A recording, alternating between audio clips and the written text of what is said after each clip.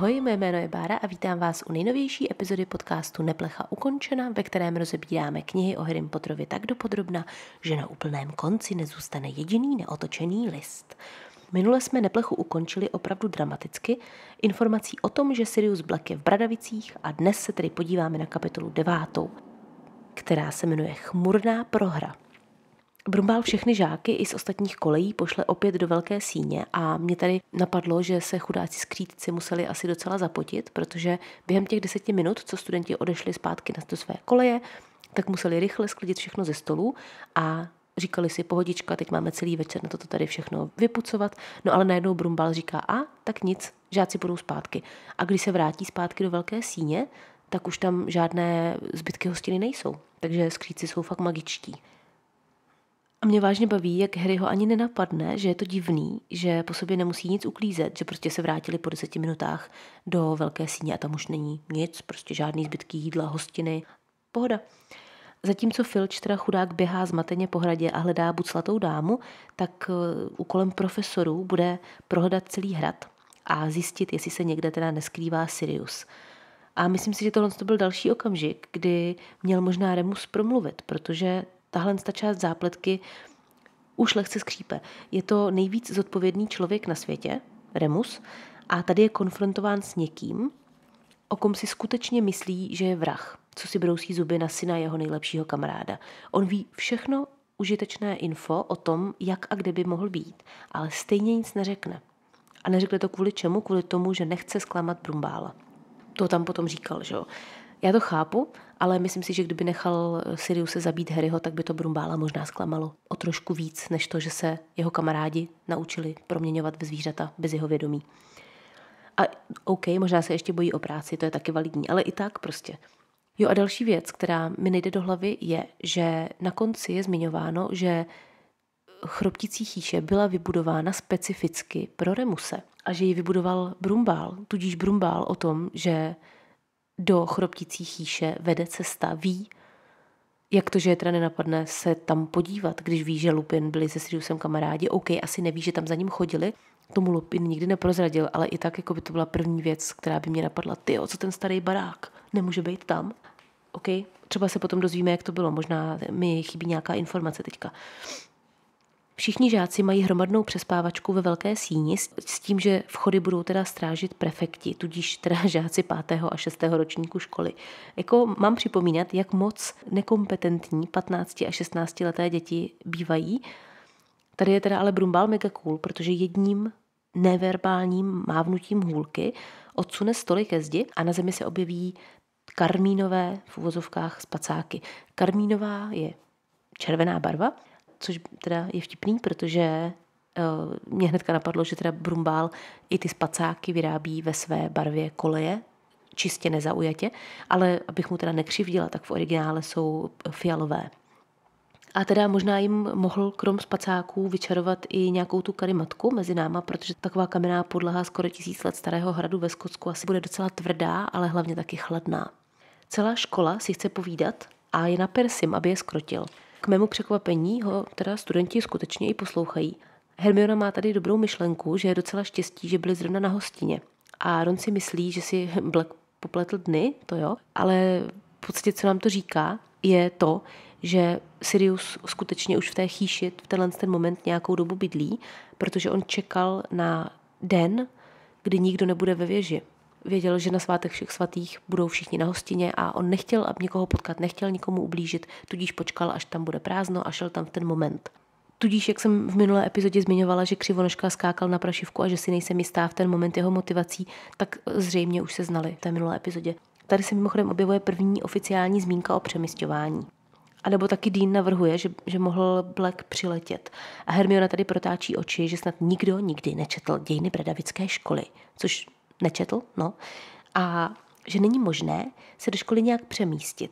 Ale taky zmiňuje, a to je velmi zajímavé, že převleku nebo příletu na koštěti by si všimli moskomoři, což nám potvrzuje to, že hrad obvykle není chráněn proti příletu nebo příchodu. Nijak, protože o tom mi taky píšete docela dost a ptáte se mě na vysvětlení toho, jak je možné, že se do hradu v prvním díle dostali Charlie a jeho kamarádi pro Norberta, když by měl být hrad chráněn, protože třeba v šestém díle už je chráněn proti příletu. Brumbál ty ochrany zvedá, když s Harrym přilétají zpátky z té jeskyně.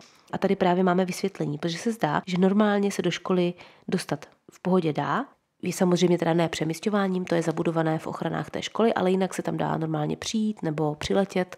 A od třetího dílu teprve byly ty ochrany postupně s větším a větším zestupem Voldemorta zpřísňovány. Jo, tady v tom třetím díle použili moskomory, to tady zmiňuje Hermiona, a později potom Brumbál asi vymýšlí nějaké ochrany proti příletu a tak. Harry nemůže usnout a tak ještě ve tři ráno zaslechne rozhovor mezi Persiem a Brumbálem. Black není teda údajně k nalezení, a oni našli nový obraz na strážení věže a buclatá dáma se teda schovávala v mapě Argyllshireu. A jako moje první myšlenka byla, jak se sakra mohla buclatá dáma schovávat v mapě. Zrovna v mapě. Tam přece musela trčet tak bolavý palec. Možná ale se dá třeba v té mapě schovat do nějakého domu, to je otázka. Každopádně Argyle je kraj v západním Skotsku a okraj tady toho kraje sousedí s Inverness, což je teda um, pravděpodobně eh, lokace, nedaleko které se nachází Bradavice, tudíž aspoň dává smysl, že tam takovouhle mapu mají. Teď přichází do velké síně Severus Snape a přidává se do spiklaneckého rozhovoru nad hlavami několika stovek žáků, kteří ten rozhovor klidně můžou poslouchat, pokud zrovna nespí. A on říká, že prohledali úplně všechno od sklepení až po sovinec. A mně došlo, že jsme se ještě nebavili o sovinci. Nachází se teda v západní věži hradu, která je vyloženě dedikována celá jenom sovinci, nic jiného v ní není. A žijí tam jak sovy žáků, tak ty školní. Je to v podstatě takový velký holubník, ve kterém jsou eh, vysklená okna a hnízdící poličky. A teda taky hodně bobků, předpokládám. Doufám, že to tam uklízí Filč pěkně ručně a Filč kvůli tomu, že má na starost vnitřní prostory školy. Každopádně zase tady je otázka, kdo z nich to dělá, jestli Filč nebo Hagrid. Protože že jo, Filč je školník, ten se stará o hrad, Hagrid je klíčník a šafář, tudíž se stará o venkovní prostory. Na druhou stranu sovy jsou zvířata, o která se běžně stará Hagrid, takže kdo ví. Snape vyzvídá, jak, jestli Brumbál tuší, jak se Black do hradu dostal. A Brumbál ho odbíjí klasickým brumbálovským Mám asi 30 teorií, jak se mohl dostat do hradu. Percy je úplně nejvíc hotový z toho, že se může účastnit rozhovoru dvou dospěláků, a Snape se na druhou stranu snaží Brumbálovi kulantně naznačit, že Blackovi možná by mohl pomáhat Lupin, což svým způsobem teda dělá, protože nevysype, že ví, že je Sirius pes. Brumbál říká, že nevěří, že je v celém hradě člověk, který by Blackovi pomohl dostat se dovnitř, což je pravda, protože Blackovi pomáhá kočka, ne člověk. Brumbal zmiňuje, že dokud bude ředitelem Bradavic on, žádný moskomor mu do hradu nevleze. A na konci čtvrtého dílu nejen, že mu budou jeden nebo dva šmejdit po chodbách, ale dokonce budou líbat náhodné učitele, tím myslím skrka. Což bude vlastně i prvním náznakem toho, že Brumbál pomalu ztrácí tu svoji moc na ministerstvu, že tady to jeho rozhodnutí, že Moskomorové mu prostě nepřejdou přes práh, to ministerstvo nebude respektovat. Celá škola žije v dalších dnech tím incidentem. Hanach Abotová všem vykládá, že Black se mění v kvetoucí keř, což jsem si říkala, a říkala jsem si, jestli to není nějaká chyba v překladu, ale ne, je to v angličtině flowering shrub, neboli teda kvetoucí keř, což by teda ale naznačovalo, že se lidé umí měnit krom jeden v druhého a ve zvířata i v kitky. A já jsem přemýšlela, že by to třeba mohla být taky vrozená schopnost, podobně jako metamorfomagie, a byly by to třeba metamorfomágové, zvěromágové a herbimágové. A pak jsem moje fantazie mě zase unesla a představila jsem si, jak se takhle narodí miminko vy ho dáte do kolípky, že ho přijdete domů z porodnice a jdete si třeba udělat, nevím, kafe a pak se vrátíte a místo toho miminka tam máte fíkus. Jako vám říkám, to by mě hodně překvapilo.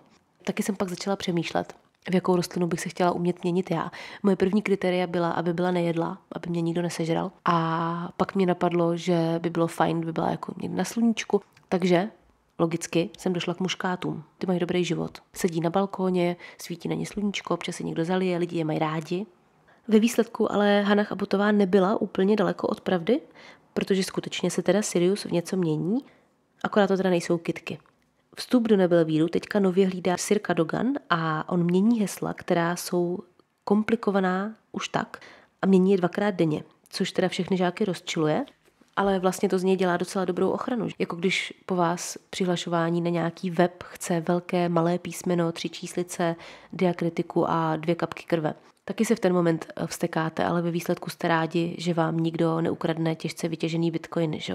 Harry je učitel doslova pronásledován a teda i Persim, který se tak nějak sám pasoval do role pomocného učitele. A pak mu teda McGonagallová jeden den konečně provaří, že je teda Blackův cíl.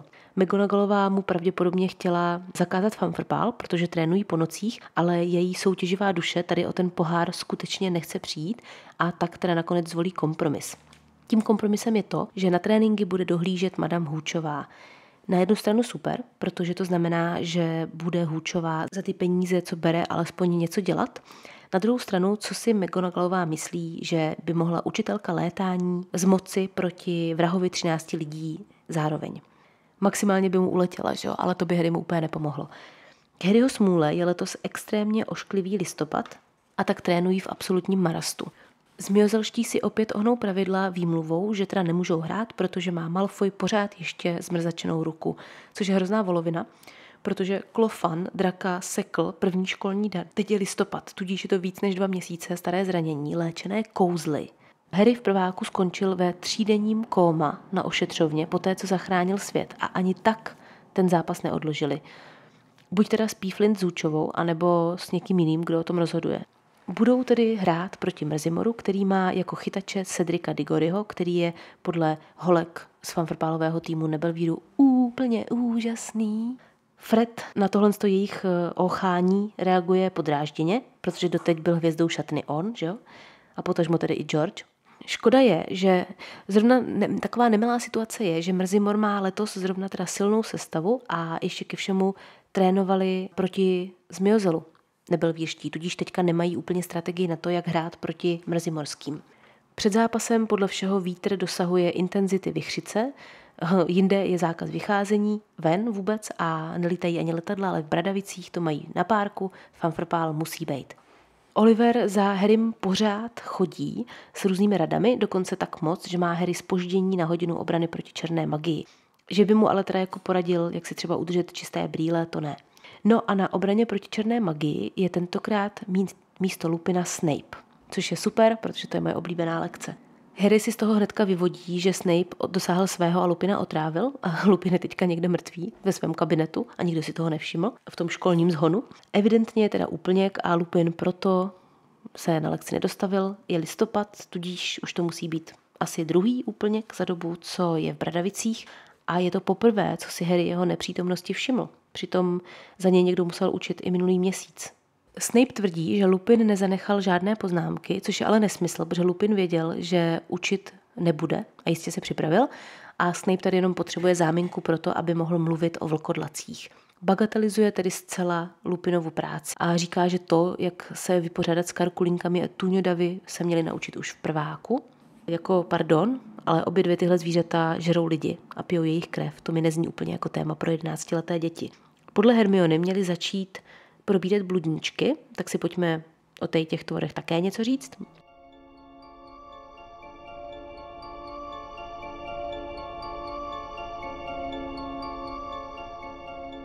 V angličtině se jim říká hinky punks a jsou to taková jednonohá stvoření, která vypadají jako modrý, šedý nebo bílý oheň. Oni lákají pocestné v noci mimo vyznačené cesty do různých bažin a močálů, protože se někde objeví světlo a ten člověk si myslí, a tamhle bude civilizace a jde za tím světlem a místo v civilizaci skončí kde? V bažině. Umí plivat ohnivé koule a občas vydávají takové bručivé zvuky. Ideální obranou proti bludníčkům je tedy dostat se z dosahu těch jejich ohnivých koulí. Pokud tohle udělat z nějakého důvodu nemůžete, tak stačí bludníčka dostat do rohu nebo do nějakého těsného prostoru. Potom použijete zaklínadlo Lumos Duo, tolikrát, dokud se jeho forma nespevní. A ve chvíli, kdy si je teda v té solidní formě, má nějaké hmotné tělo, tak na něj použijete omračující zaklínadlo asi tak pětkrát a tím hotovo vypořádáno. To Lumos Duo vytvoří jakýsi proud světla z hůlky, na rozdíl od Lumos, přičemž se to světlo více rozprostře, takže si to představte jako, že Lumos Duo je spíš baterka. Hinky Punk je lokální název z jeho západní Anglie pro takové pro pro tady to stvoření, kterému se ale taky jinak říká třeba Willow the Wisp. A ano, uhodli jste, jedná se o další britský folklor. Do češtiny je to přeložitelné jako prachsprostá bludička, tudíž opět velmi dobrá práce, páni překladatelé. A jinak se tady té věci ale taky říká ignis fatus, neboli myhotavý plamen z latinsky. A je to spíš takový fenomén než stvoření. Je to takové to plynové světlo, které občas vzniká v bažinách. Respektive mytologie okolo toho jsou ty bludičky, bludníčci, hinky punky, Jack O'Lanterny a tak, Willow the Wisps. Ale to vysvětlení je právě v tom fenoménu. Je to oxidace nějakých látek, které vznikají při organickém rozkladu, což se teda v bažinách děje. A dvě z těch látek, když se promísí, tak při kontaktu se vzduchem vzplanou. Poprvé se tohle jako možné vysvětlení toho, toho fenoménu objevilo už v roce 1596 v knize od Ludviga Levatera. Pak si nějakou dobu, hlavně v 18. století, mysleli, že k tomu dochází díky elektřině, že se to stane tak, že udeří blesk do bažiny a ta bažina vzplane. To ale bylo vyvráceno hlavně kvůli tomu, že ten oheň není teplý, což by teda elektrický oheň byl. V podstatě se toho o něm ale dodnes úplně moc neví, stále některé informace chybí. A dneska už tady ten jev moc velkou šanci vidět nemáte, protože už je opravdu málo bažin. Třeba poslední česká bažina byla zničena výstavbou Brna ve 12. století. Ne, to si dělám srandu, já nevím, jestli ještě existuje v Česku nějaká bažina, ale Brno je opravdu postavené na bažině, proto se jmenuje Brno, protože Brno má znamenat bahno. E, v tom folkloru pak e, tady ten jev je vysvětlován různě v každé odlišné kultuře. Tam, kde byla bažina, existuje mýtus o divném světle.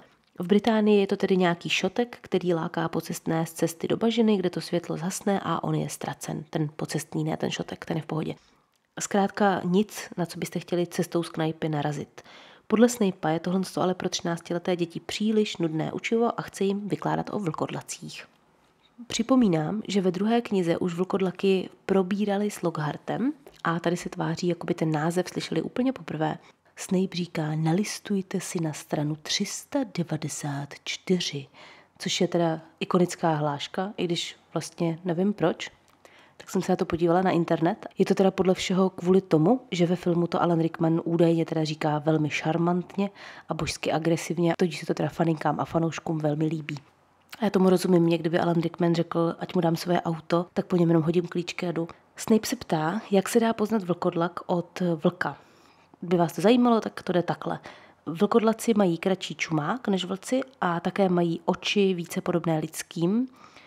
Snaží se ulovit člověka na svačinku bez jakéhokoliv rozmyslu. Vlci tohle to obvykle nedělají, ti se spíš v kontaktu s člověkem drží zpátky.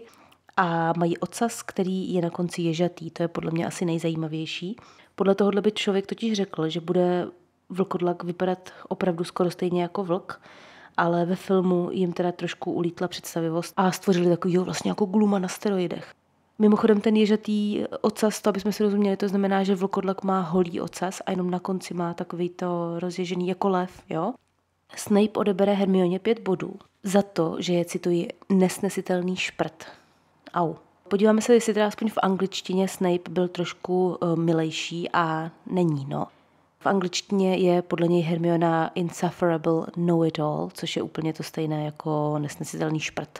Na druhou stranu, pojďme si nalít čistého vína, Hermiona trošku chvílemi je nesnesitelný šprt. I tak ale není samozřejmě úkolem učitele jí to vpálit, o to si většinou víc než dobře postarají samotní spolužáci.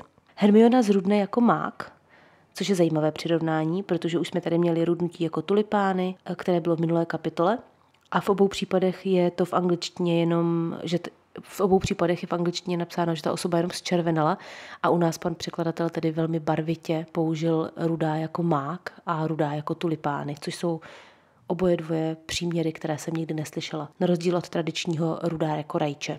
Ron se naštve a na Snape'a vyjede a bum, za to dostane školní trest. Já se docela divím, že se Harry tady drží, protože, jak víme, tak Harry má taky trošku problém se sebeovládáním který teda ale u něj nastává spíš s věkem, tady je ještě docela hodnej. Uh, Snape je ještě nakonec dodělá požadováním eseje, která má být teda na téma rozpoznání a zabití vlkodlaků. A já bych tady zdůraznila tu část a zabití vlkodlaků. Já miluju Snape'a, když se cítí ukřivděně. Fakt. Tady padne zajímavá věta, protože Harry se ptá, jestli má Snape na Lupina takovou pivku kvůli tomu Bubákovi.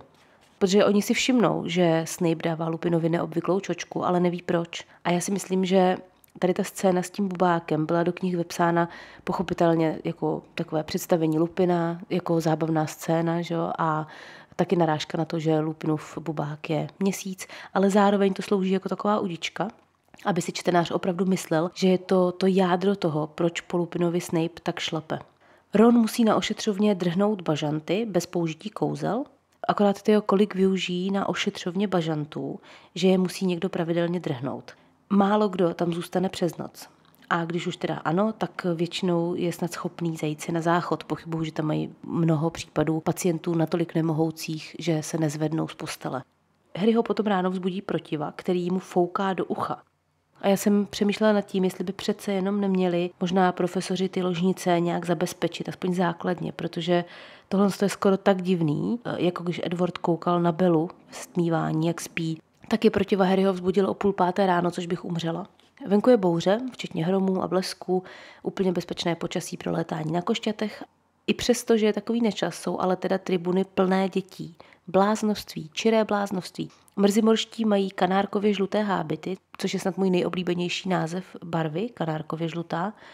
V angličtině je to teda taky Canary Yellow, takže to je doslovný překlad, super. A já jsem si hledala, jaký přesně odstín to je, a jen tak ze zájmu. Ale vám radím, ať to neděláte, protože po zadání kanárkově žlutá mi Google automaticky doplňuje moč, takže možná lepší nehledat.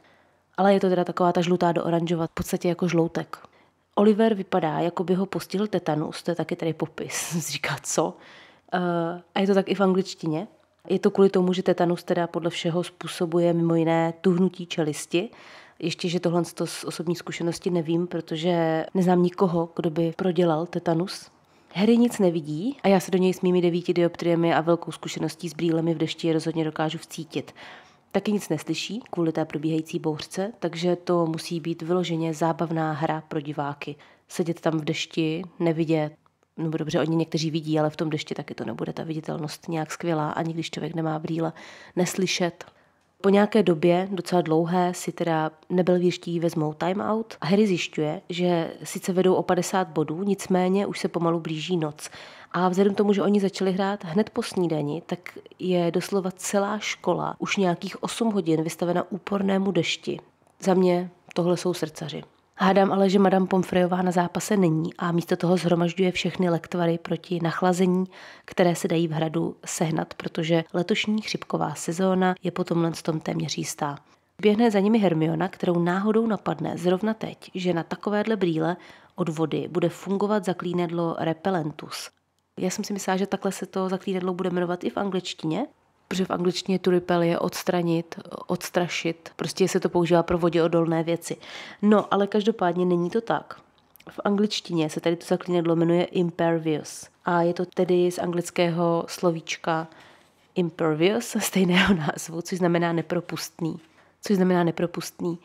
A proč se v češtině použilo repelentus, asi chápeme, protože tady se místo komárů prostě odstrašují kapky vody.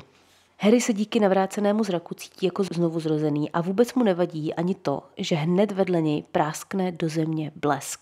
Já osobně bych v tenhle ten moment nalítla na Brumbála a brečela bych mu do hábitu, že v tomhle tom teda lítat nebudu. Ale Harry dobrý, pohoda, prostě prší, no. A v ten moment se ale stane něco mnohem horšího než blesk, který udeřil přímo vedle vás. Harry spatří smrtonoše. Nemá čas nad tím ale příliš uvažovat, protože přesně v tenhle moment se tedy objevuje taky Zlatonka a bum, ještě ke všemu přichází Moskomorové. Já jsem si v první chvíli řekla, ty ty Moskomorové jsou dobře teatrální, celý den se hraje a oni nic. A přesně v moment, kdy se objeví Zlatonka a začne se teda něco pořádného dít, přiletí. Jenomže potom jsem si uvědomila, že vlastně možná oni přiletěli přesně v ten moment z toho důvodu, že zrovna celé to publikum začalo cítit nějakou velmi silnou emoci ohledně toho, že teda Harry vidí tu zlatonku a že ten zápas možná konečně skončí a proto se rozhodli, že teď je ten čas na svačinku. E, stojí tam aspoň 100 moskomorů, což teda jako ty krása, to musel být pohled. A tentokrát krom jekotu Harry slyší i hlas nějaké ženy, která prosí o jeho život. A potom, jak by řekla moje dcera Harry Bác, a probouzí se na ošetřovně a z toho, o čem si ostatní povídají, se dá vydedukovat, že spadl tentokrát až na zem, ale že se mu vlastně nic moc nestalo, protože bylo všude bláto. Tudíž aspoň k něčemu bylo to počasí dobré. A asi ani nebyl omdlelý úplně dlouho, protože kolem něj stojí teda celý tým. Všichni jsou od bahna ještě stále. Je řečeno, že spadl z 16 metrů, což jako wow, to je hodně vysoko. Pro představu osmipatrový panelák má zhruba 25 metrů, takže by padal tak zhruba z pátého patra paneláku. To nevím, jestli by ho bláto zachránilo. Harry tady tu informaci, z jaké výšky spadl, úplně odignoruje a hned se ptá, jestli vyhráli, protože to jsou Harryho priority. Fanfrpál, fanfrpál, fanfrpál. Cedric byl evidentně úplně špatný z toho, že tu zlatonku chytil netušíc, že Harry spadl. A tím se nám už tady objevuje narrativ, podle kterého je teda Cedric takový Mirek Dušín světa čar a kouzel. A Oliver Wood, jediný místo, aby šel zjišťovat, jestli Harry teda žije nebo nežije, zvolil radši návštěvu sprch. to mi taky přijde takový hodně Woodovský. Harry je tady úplně ta největší drama queen. Přitiskne si v zoufalství hlavu na kolena a rukama se popadne za vlasy. Jo, ale tady je tedy zmíněno, že Harry nespadl úplně z té výšky, z těch 16 metrů, protože tady se jedná o tu scénu, kdy ho Brumbál přibrzdil nějakým zaklínedlem, což teda mezi náma hodně vysvětluje. Vtipné je, že Brumbál tady použil na ty moskomory patronovo zaklínadlo a Hermiona s Ronem říkají, že to byla stříbřitá mlha, protože nám J.K. Rowling zatím nechce vyspoilerovat, co to patron je ale teda jako obřího ptáka Fénixe by asi poznali. Takže to bude opravdu jenom stříbřitá mlha. Já jsem se dokonce dočetla, že pokud vyvoláváte patrona, tak si můžete sami zvolit, zda bude mít tu jakoby fyzickou podobu, anebo jestli to bude jenom ten oblak. A někteří kouzelníci, jako třeba Lupin ve vlaku a tady Brumbál, využívají té možnosti patrona vyslat jenom jako mlhu. Právě proto, aby třeba na sebe nepráskly nějaké osobní věci. Brumbál je ale každopádně teda borec, protože tady podle všeho zahnal všech 100 těch moskomorů tím jedním jediným patronem. A poslední drtivá zpráva dne je, že Harryho koště, jeho starý dobrý Nimbus 2000, narazil do vrby mlátičky a ta ho rozcupovala na kusy. Nakonec je tedy možná dobře, že Harry při tom omdlení z koštěte spadl, protože taky na něm při nárazu do vrby mlátičky mohl stále ještě sedět, což by ho asi dost bolelo. A tím tahle tragická epizoda neslavně končí a je čas vám prozradit, jaká epizoda je pro vás tentokrát nachystaná na Hero Hero. Tududu, tentokrát se opět už po druhé a naposledy podíváme na zbytek čarodějů a kouzelnic, které se objevují na kartičkách v čokoládových žabkách. Tak se mějte krásně, neplecha ukončena.